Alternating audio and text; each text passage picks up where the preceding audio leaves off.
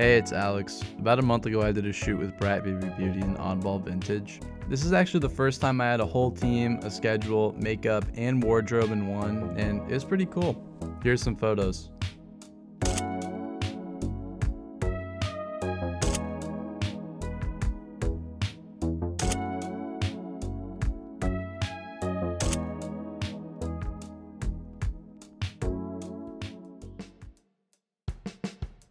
The photos didn't come out great at first. There was dust all over my scans, but a little Photoshop and a lens cleaning later, here's what came out.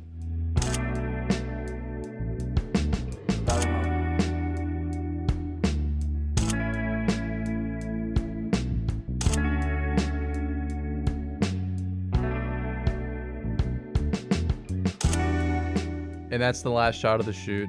Please go check out the article on anonmagazine.com about the project Special thanks to Lauren from Oddballl Vintage for modeling and providing the awesome wardrobe.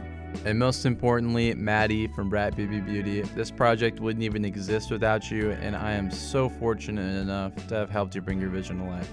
Thank you to Jay and Tori as well. And uh, yeah, thanks for watching. Later.